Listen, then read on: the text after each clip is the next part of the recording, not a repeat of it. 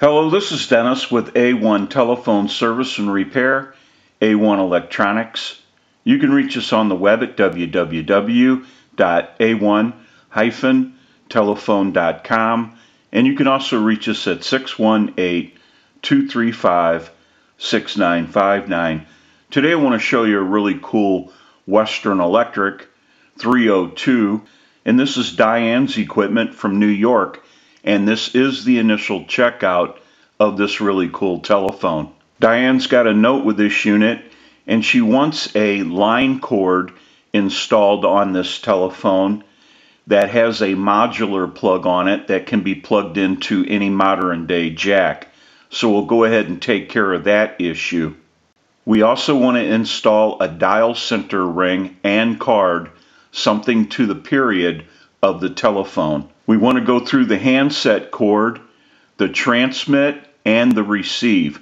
So we want to make sure everything's working and that we clean all of our connections. We will be going through the rotary dial. It is sluggish and we want to clean, oil, and adjust the rotary dial and make sure that all of our numbers are dialing out properly. We're going to go through the network and we want to make sure that the network is wired properly and that all of the connections are tight. We're going to take a look at the bell and bell circuit. We also want to adjust the bell. We have a lot of work that needs to be done. We want to get a start on this really cool Western Electric rotary dial desk telephone. We'll go ahead and take some still pictures of this unit and we'll come back and get some more video as we move forward in the troubleshooting and repairing process. We'll take a short break and we'll be right back.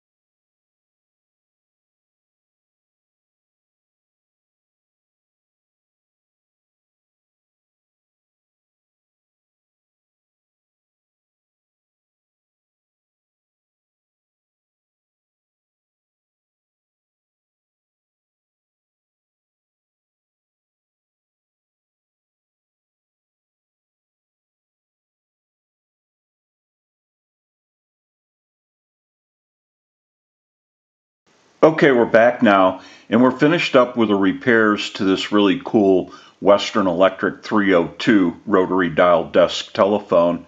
We want to run through a little bit about what went on.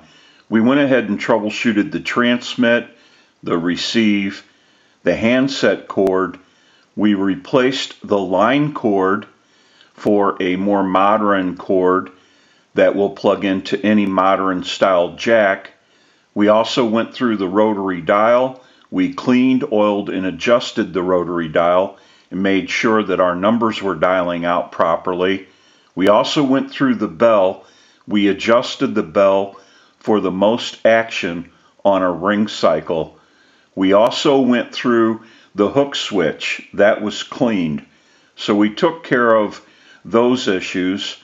We made sure that all of the connections at the network were tight and cleaned. So we went through everything on this telephone. We also took care of some of the cracking that went on around the corners of the edges of the base of the telephone. Now they're stabilized and this type of plastic was an early type of plastic that was Tenite. And so although it is pretty strong plastic, it can get brittle over time.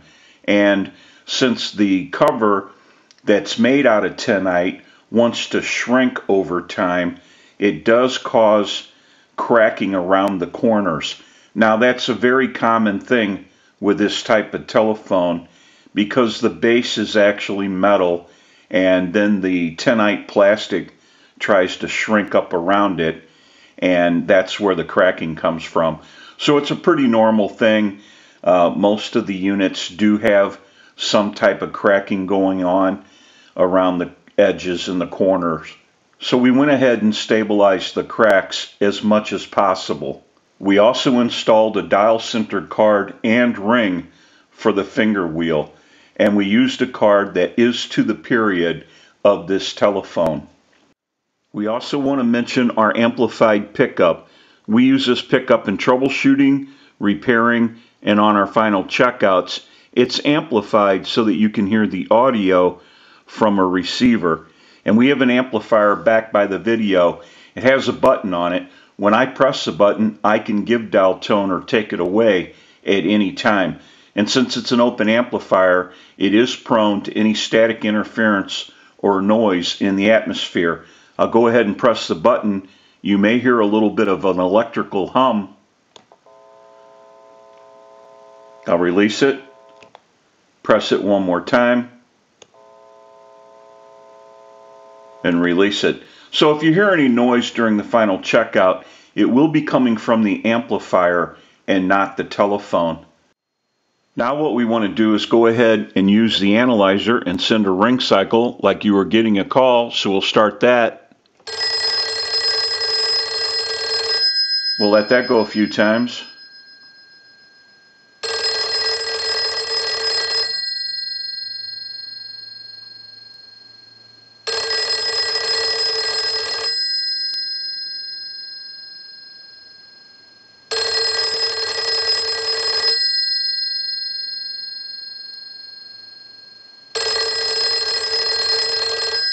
I'll let it go one more time and we'll give you some dial tone.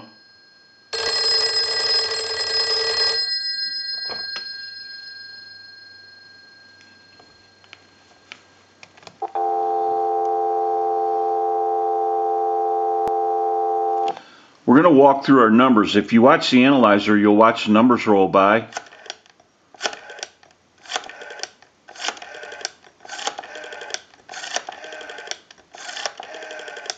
We have a nice smooth return on our rotary now. I'm going to end in a 2. Now we want to transmit into the handset.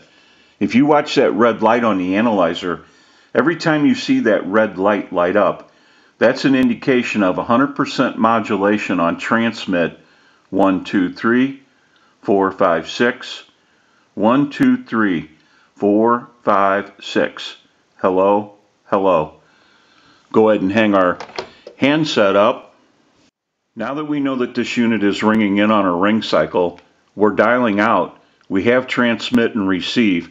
We can go ahead and press this button on the switch box. That'll give us a line out, totally take the analyzer out of the situation, and we'll call a time and temp number. Go ahead and give you some dial tone.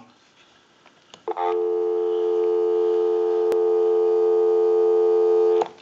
and we'll make that call. The time and temperature is coming up after this. To hear the time and temperature, just stay on the line. Today is coming up after this. To hear the time and temperature, just stay on the line. Today is Monday, December 19th. The current time, 11:38 p.m. and the temperature 34 degrees. We can go ahead and hang up. Now that we know that this really cool Western Electric 302 rotary dial desk telephone has been repaired, we can return this unit back to Diane and they can enjoy this telephone. I'm sure it's going to look great wherever it's used. This is Dennis with A1 Telephone Service and Repair, A1 Electronics. You can reach us on the web at www.a1-telephone.com and you can also reach us at 618 235 6959. Thank you for watching and have a great day.